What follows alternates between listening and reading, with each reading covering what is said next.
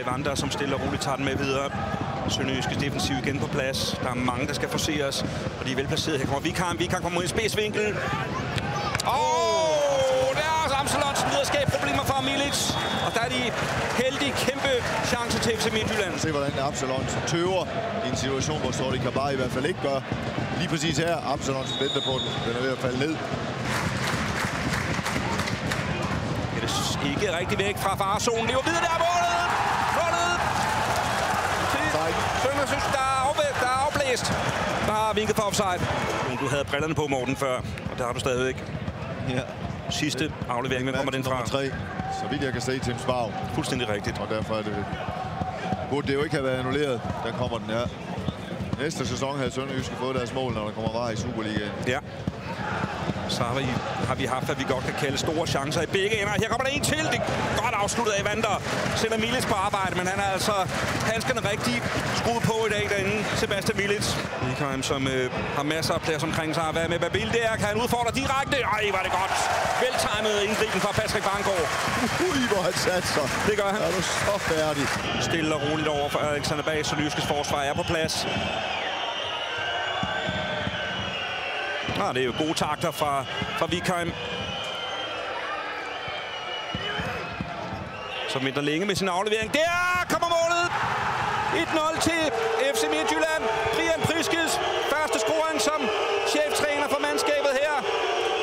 0 til Midtjyllanderne. Lad os se her. Der. Det kan som godt være, der var frispark. Men det ændrer ikke på, at det er godt lavet af Gustav Vikheim her, og endnu bedre lavet af Eber Mabil, der har ført noget anonym tilværelse. Det må man sige. Resolut taget ned. Godt sat ind.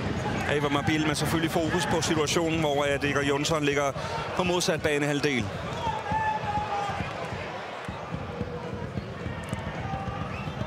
Svirchenko frem. Oh, var det godt lavet. Åh, oh, er det en god redning fra Milic. Ja, fornuftigt spillet. Målscorer til 1-0. Mabil med indlægget, og så er det igen Miles, der redder Sønderjysk, og en kæmpe chance af det moment til Evander. Nøj, hvor det brænder på dernede.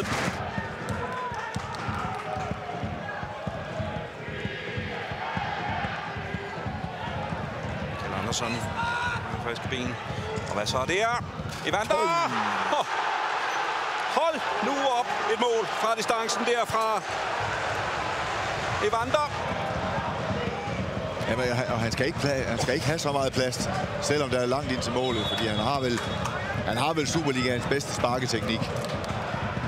Der, der er langt derind. Der er lavs i vejen. Men den, den er bare ramt helt, helt perfekt. Der er ingen grund til, at Sebastian Milic skal strække sig efter den der, for han når den aldrig.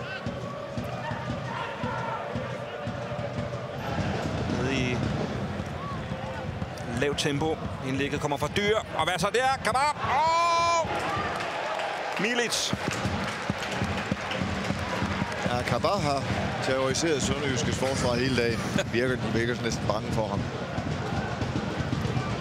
Igen må de bare takke sig for at have en rigtig god keeper i Sebastian Milic. Ja, jeg tror Ah, han rørte den ikke engang.